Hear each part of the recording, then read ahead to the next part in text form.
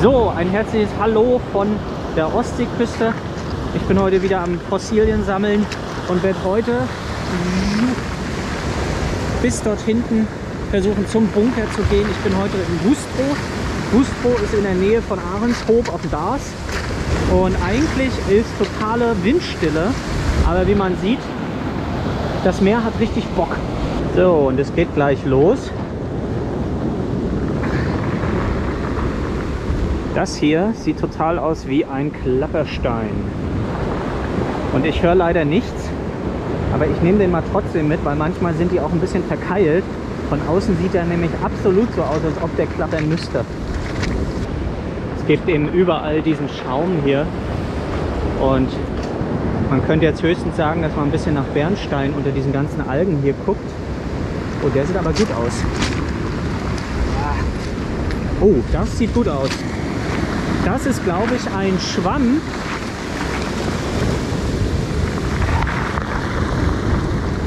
Ja, das ist ein Schwamm. Cool. Ja, den brauch, muss ich dann noch mal richtig in Nahaufnahme zeigen. Der sieht richtig schön aus. Cool. Ich habe jetzt schon ein paar Touristen hinter mir gelassen, und zwar hier. Mit der Watthose kommt man jetzt ein paar Meter weiter, aber eigentlich muss der Wellengang zurückgehen, damit man wieder bis zum Bunker kommt.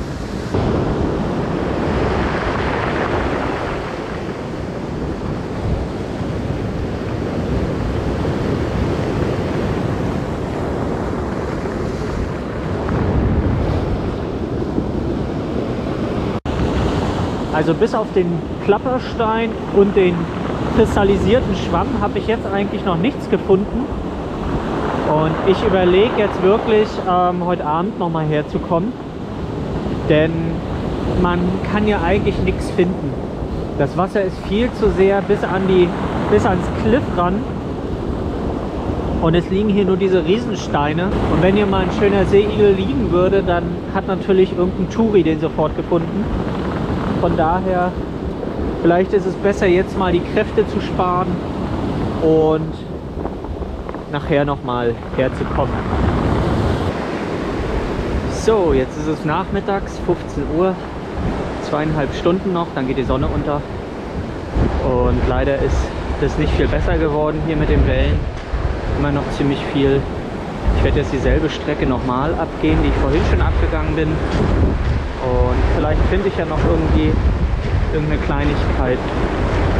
Genau, wollen wir mal gucken. Also, und dann geht das auch gleich los. Und zwar das Stückchen hier. Das scheint irgendwas Zertrümmertes zu sein. Aber ich kann nicht genau sagen, ob es jetzt ein Seeigel war oder sonst was. Das nehme ich aber mal mit. Das ist ja faszinierend. Es ist auch nicht durch Beton zusammengewachsen, sondern das ist wirklich hier der Feuerstein. Cool.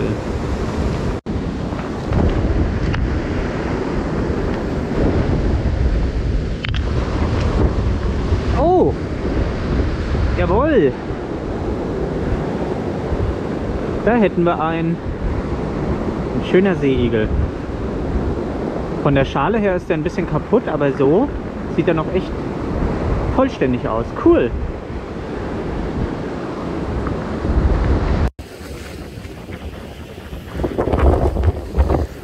Ja, ja, ja, ja. Ja. Das sieht doch gut aus. Der ist auch richtig gut erhalten. Cool. Das ist Galerites. Juhu!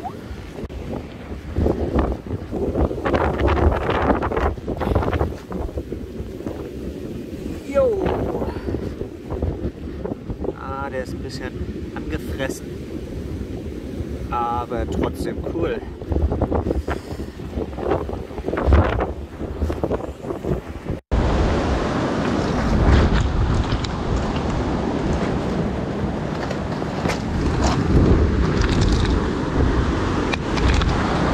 Drehe jetzt nur noch Kreide gesagt. Jawohl. Oh, wunderschön. Und so kurz wieder nach dem anderen. Alter Schwede. Sieht ja richtig kreidig aus. Oh, zum Glück bin ich heute Nachmittag nochmal hergekommen. Cool.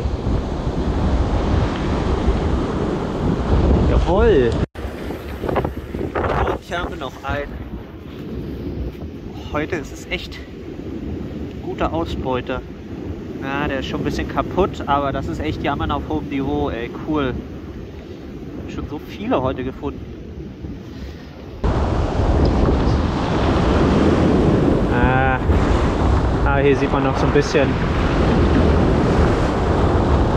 die Schale, aber leider ist das Ding kaputt. Also ich bin jetzt auch schon umgekehrt und ja, dafür, dass ich jetzt heute Nachmittag nur noch mal so kurz zwei Stunden raus wollte, jetzt hier noch mal zwei relativ schöne Seeigel gefunden habe, bin ich schon zufrieden. Vielleicht finde ich auch noch was beim Rückweg.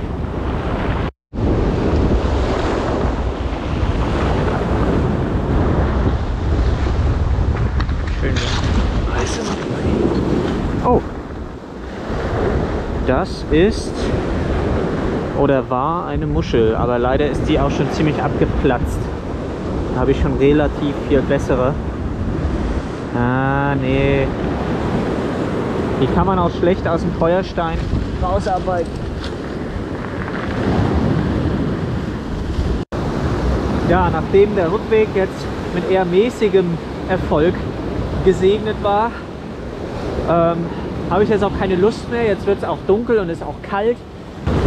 Und ich würde jetzt zurückgehen und dann sehen wir uns bei der Auswertung wieder. Gut, dann kommen wir mal zur Auswertung und ich würde mal gleich starten mit dem Schwammabdruck. Der ist ja auch auf dem Thumbnail. Also ihr seht, das ist, dieser Abdruck ist gefüllt so mit kleinen Quarzkristallen, mit so einem Quarzrasen sozusagen. Und der glitzert auch relativ gut. Ne? Also normalerweise ähm, ist es so, dass viele der Quarzkristalle abgebrochen sind oder abgeschliffen sind, einfach durch, ja, durch Außeneinwirkung. Aber hier glitzert das eigentlich noch relativ gut. Das wird mal eine richtige Knolle wahrscheinlich gewesen sein und ist schon seit längerer Zeit aufgeschlagen. Und was noch interessant ist, ähm, in der Mitte seht ihr, das ist noch ein anderes Gestein. Ich weiß nicht genau was, aber das ist da sozusagen mit so reingewachsen. Ja, das macht diesen Fund in vielerlei Hinsicht sehr interessant. Bei dem zweiten Stück, das ist auch irgendwas Fossiles und ich habe aber überhaupt keine Ahnung, was es ist. Also wenn jemand ähm, da Ahnung hat, kann er das gerne in die Kommentare schreiben. Ähm, ich bin da für jeden Hinweis dankbar. Ich sehe eben auch kaum irgendwelche ähm, Abdrücke oder so auf diesen Schalenresten, ne? dass ich da irgendwelche Schlussfolgerungen ziehen könnte, was es ist. Der nächste Fund, äh, das ist, glaube ich, relativ klar. Das ist eigentlich ein richtig guter Seeigel. Der ist auf einer Seite ein bisschen kaputt, aber ansonsten sieht er sehr, sehr gut aus. Und äh, wenn mich nicht alles täuscht, ist auf der Oberseite ähm, dieser eine Riss ähm, dadurch, vielleicht sogar gar kein Riss, sondern ähm, ein Abdruck, ein Spurenfossil von irgendeinem Parasiten. Der zweite Seeigel ist ähm, relativ kaputt. Da habe ich den einfach nur mitgenommen, weil die Unterseite noch relativ gut aussieht. Ja, der ist eben kreidig und ich glaube nicht, dass der es langfristig in meine Sammlung schafft. Also der wird irgendwie eher so ein Gartenstein werden oder wird in der Hausdrainage ähm, bei den anderen Steinen landen. Ja, und der nächste Stein ist auch ein Seeigel und auch nicht sonderlich gut erhalten. Es gibt manchmal so Stücke wie bei dem hier, ähm, die nehme ich dann mit nach Hause, aber nur um sie nochmal unter der Lupe mir anzugucken. Denn hier auf der Unterseite kann man noch sehr gut so ein bisschen ähm, das Muster erkennen. Und das habe ich mir dann äh, mit der Lupe angeschaut. Ja, der folgende Seeigel sieht wieder richtig gut aus. Den habe ich auch ein kleines bisschen freigekratzt, also da waren noch links und rechts Kreidereste dran. Und ich weiß nicht, wie gut man das jetzt sieht in dem Video, aber die Stellen, die ich dann freigekratzt habe, die waren eben die ganze Zeit geschützt. Und von daher ähm, gibt es dort immer noch so eine kleine noppige Oberfläche, die abgekratzt ist, ähm, wenn so ein Seeigel wirklich frei liegt. Genau, aber ansonsten gibt es da nicht sehr viel zu, zu sagen. Der letzte Seeigel, den habe ich in Essigsäure gestellt, dadurch ist die Schale abgegangen. Das Schöne an dem Seeigel ist, der ist ja in einem Feuerstein drin und diesen Feuerstein kann man sehr schön hinstellen. Also der passt richtig gut in die Vitrine. Ja, das war es dann schon wieder. Ich hoffe, euch hat die Tour Spaß gemacht und hoffentlich sehen wir uns beim nächsten Video wieder. Bis denne, ciao.